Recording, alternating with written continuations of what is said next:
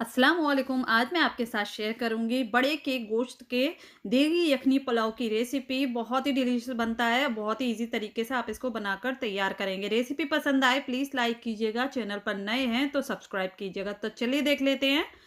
तो सबसे पहले हमें पुलाव बनाने के लिए गोश्त चाहिए। तो यहाँ पर देखिए, हमने एक किलो, एक के जी गोश्त ले लिया है। अच्छे से इसको वॉश कर लिया है। यहाँ मैंने बोंग का गोश्त लिया है। आप चाहें सादा वाला भी ले सकते हैं। तो यखनी बनाने के लिए सबसे पहले पोटली तैयार करेंगे। तो हमने यहाँ पर एक कॉटन का कपड़ा ले लिया है और इसमें ऐड करेंगे वन टेबल स्पून साबुत धनिया, वन टेबल स्पून सौंफ, एक इंच का दालचीनी का टुकड़ा। तो बस ये मसाले चाहिए हमें पोटली बनाने के लिए। अब इसकी हम पोटली तैयार करेंगे। एक लूज सी आप पोटली बनाइएगा। टाइट मत कीजिएगा, क्योंकि ये यखनी में पकते हैं तो ये मसाले फूल जाते हैं। तो ये देखिए, हमने एक लूसी पोटली बनाकर तैयार कर लिया। अब हमने एक प्रेशर कुकर ले लिया, इसमें ऐड करेंगे एक बड़े साइज़ का प्याज, जिसको हमने छील लिया है। एक बंच लहसुन का और पोटली, दो तेज पत्ते और अब गोश्त ऐड कर देंगे। वन टीस्पून नमक और अब इसमें हम छः गिलास पानी ऐड करेंगे।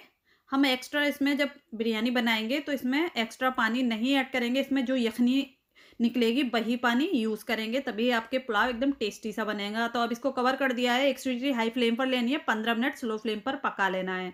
तो तब तक हम मसाले तैयार कर लेते हैं। तो ये देखिए, हमने यहाँ पर लिए हैं हाफ़ टी स्पून काली मिर्च हाफ़ टी स्पून ज़ीरा, एक इंच का दालचीनी का टुकड़ा छः लौंग, दो बड़ी इलायची एक स्टार फूल, हाफ़ नटमेग, यानी जायफल यहाँ पर मेरे पास टूटा हुआ है, पाँच हरी इलायची, एक फूल जावित्री का। तो इन मसालों को हमें कूटना है। जब आप इसको बिरयानी पुलाव में कूट कर डालेंगे तो बहुत ही अच्छा टेस्ट आएगा, एकदम देग स्टाइल। तो ये देखिए, हमें इसको मोटा मोटा सा कूटना है, पाउडर नहीं बनाना है। इस तरह से देखिए, हमने मोटा मोटा सा इसको कूट लिया है। तो अब इसमें कुछ चीज़ें और ऐड करेंगे। वन टेबल स्पून नारियल पाउडर। वन टीस्पून पीली मिर्च। आपके पास नहीं है तो half teaspoon red chilli powder भी ऐड कर सकते हैं। मिक्स कर लेंगे और इसको हम साइड कर देंगे। तो अब हम ऐड करेंगे अब हम लेंगे यहाँ पर एक बंच लहसुन का। ये देखिए, हमने लहसुन के कलियाँ ले ली लिए, इसका छिलका नहीं निकाला है, छिलके के साथ लेना है। और एक बड़ा सा टुकड़ा, दो इंच ले लें मतलब अदरक, इसका हमने छिलका निकाल दिया है। अब इसको हमें मोटा मोटा सा कूट लेना है, क्योंकि हमें अदरक, लहसुन का पेस्ट नहीं यूज़ करना है। पुलाव के अंदर इस तरह से कूटा हुआ ऐड करेंगे। वन फोर्थ कप हमने इसमें पानी ऐड कर दिया है। अच्छे से इसको मिक्स कर देंगे और ये देखिए, पेस्ट तैयार हो गया है तो इसको साइड कर देंगे। अब यहाँ पर हमने छः हरी मिर्च का पेस्ट बना लिया है, इस तरह से कूट कर लेना है। तो हमने कूट कर लिया, इसको साइड कर दिया। अब देखिए, यहाँ पर यखनी तैयार हो गई है। अब इसकी बोटियाँ अलग कर लेंगे और यखनी अलग कर लेंगे। तो हमने इसकी यखनी अलग कर दी है और बोटियाँ इस तरह से अलग कर ली हैं। अब पुलाव बनाना स्टार्ट करते हैं। तो हमने यहाँ पर एक बेसिन ले लिया है। और अब ऐड करेंगे टू फोर्टी एम हम इसमें ऑयल आप चाहें प्योर घी में बना सकते हैं।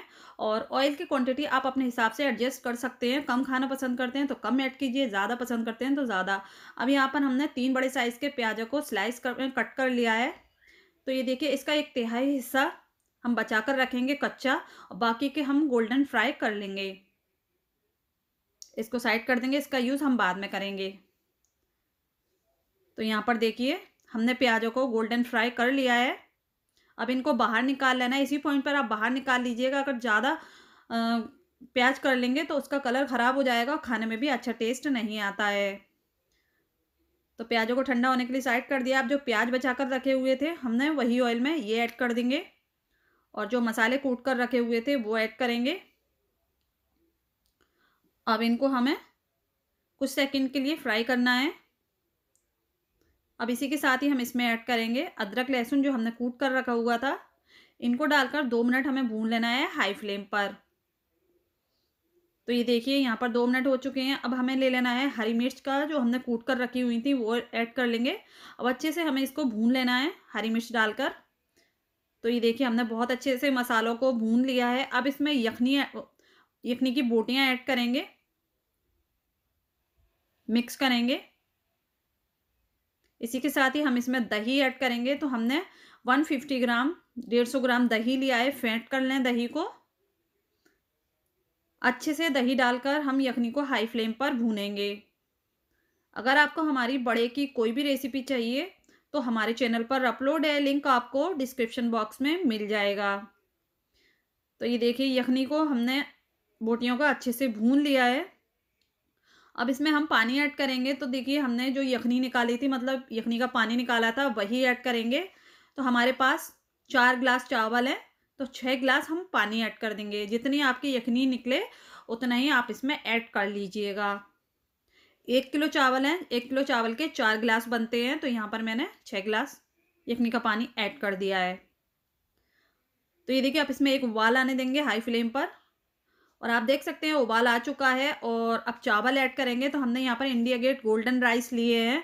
इनको दो घंटे पहले भिगो कर रख दिया था। अब इसका हमें पानी निकाल देना है चावलों का और चावल इसमें ऐड करेंगे। आप इसको बासमती राइस के साथ भी बना सकते हैं, अगर आपको पसंद हो तो।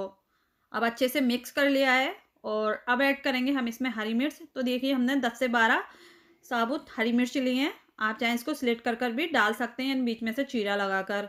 और अब ऐड करेंगे हम इसमें वन फोर टी स्पून टाटरी इससे बहुत अच्छा टेस्ट आएगा तो आप इसको स्किप मत कीजिएगा, ज़रूर ऐड कीजिएगा, आपका पुलाव बहुत ही टेस्टी बनेगा। अच्छे से मिक्स कर लेंगे और अब नमक ऐड करेंगे। तो यहाँ पर मैं वन टेबल स्पून अभी ऐड करूँगी। मिक्स करेंगे। तो यहाँ पर मैं टेस्ट कर लूँगी, अगर नमक कम लगेगा तो हम इसमें और ऐड करेंगे। तो ये देखिए, नमक हमने टेस्ट किया तो हाफ़ टी स्पून हम इसमें नमक और ऐड करेंगे। अच्छे से मिक्स करेंगे। और अब इसको कवर कर कर पकने के लिए छोड़ देंगे हाई फ्लेम पर, जब तक इसमें थोड़ा थोड़ा सा पानी ना रह जाए, तब तक हमें इसको पकाना है। तो ये देखिए, इसमें इस तरह से होल्स नज़र आने लगे हैं तो बस इसी पॉइंट पर हमें इसको दम देना है। तो इससे पहले हम कुछ चीज़ें ऐड करेंगे इसमें। तो देखिए, दो टेबल स्पून हम इसमें ऐड करेंगे प्योर घी। इससे बहुत अच्छा फ्लेवर आएगा पुलाव का। तो यहाँ पर हमने दो टेबल स्पून प्योर घी ऐड कर दिया है। वन टीस्पून केबरा वाटर ऐड करेंगे। और अब ऐड करेंगे हम इसमें गोल्डन फ्राई प्याज जो हमने कर कर रखे हुए थे। और थोड़े से हम बचा कर रखेंगे गार्निशिंग के लिए। और अब इसको हमें दम पर लगाना है। तो हम यहाँ पर कपड़े से इसको दम पर लगाएँगे। आप एल्यूमिनियम से चाहें उससे लगा सकते हैं आटे से चाहें आटे से लगा सकते हैं। तो अब इसको कवर करेंगे और दम पर हम इसको पंद्रह मिनट लगाएँगे स्लो फ्लेम पर। उसके बाद आप फ्लेम बंद कर दीजिएगा।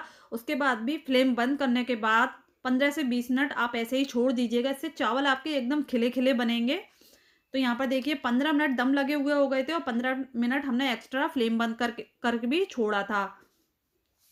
तो बस यहाँ पर हमारा टेस्टी सा पुलाव बनकर रेडी हो चुका है। ये देखिए एक एक चावल खिला खिला बना है बहुत ही अच्छी खुशबुएँ आ रही हैं, बहुत डिलीशियस बना है। तो इस रेसिपी को ट्राई करना तो बनता है। और जब भी आप रेसिपी ट्राई करें तो मुझे कमेंट्स कर कर ज़रूर बताया करें कि आपकी रेसिपी कैसी बनी। तो चलिए, अब इसको हम सर्व करते हैं। ये देखिए और बिरयानी के साथ अगर आपको सर्व किए जाने वाले रायते की रेसिपी चाहिए तो हमारे चैनल पर अपलोड है, या फिर चटनी की रेसिपी चाहिए तो वो भी हमारे चैनल पर अपलोड है। लिंक आपको डिस्क्रिप्शन बॉक्स में मिल जाएगा तो आप चेक कर सकते हैं। तो रायते चटनी के बिना तो पुलाव अधूरा होता है तो आप ज़रूर चेक कीजिएगा। रेसिपी पसंद आए तो प्लीज़ लाइक कीजिएगा। चैनल पर नए हैं तो सब्सक्राइब कीजिएगा। तो इनशाला नई रेसिपी के साथ फिर हाजिर होंगी। तब तक के लिए अल्लाह हाफिज़। अपना बहुत सारा ख्याल रखें।